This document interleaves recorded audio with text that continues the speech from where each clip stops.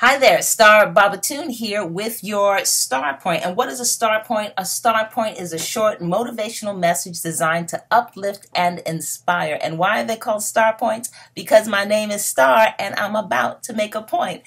My Star Point today is paying through the nose. You've heard that saying when you've paid too much for something or it costs you too much. You say, oh my gosh, I had to pay through the nose for that. It's an old saying. Maybe you don't remember it, but I want to talk to you today about paying through the nose and not the N O S E, but the N O's, paying through the nose. And what I mean by that is, you know, if there is anything that that you want to accomplish, anything that is worthwhile, you are going to hear one or two no's.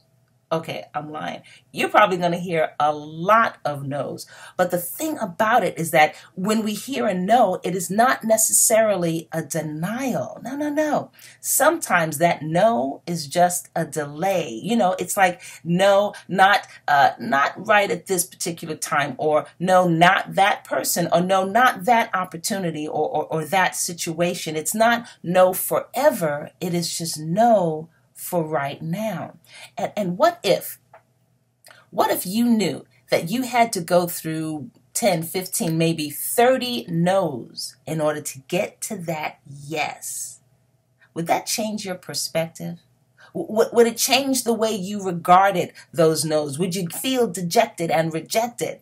Probably not. Every time you got a no, you'd be like, down, one down, another one down, another one down, because you knew that your yes was coming.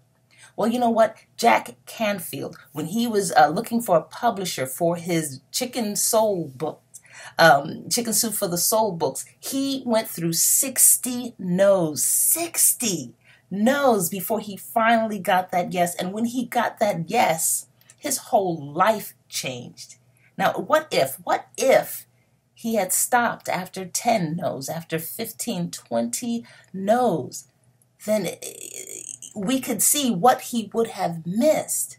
And my question is, what may you miss? What, what is it that you might miss if you don't keep moving forward? And to be honest with you, this star point is as much for me as it is for you because I would have stopped at 15, 30 no's. But what I'm learning from him and what we can both learn is that sometimes We've got to keep going through the no's to get to our yes. And that no, that no is not a denial.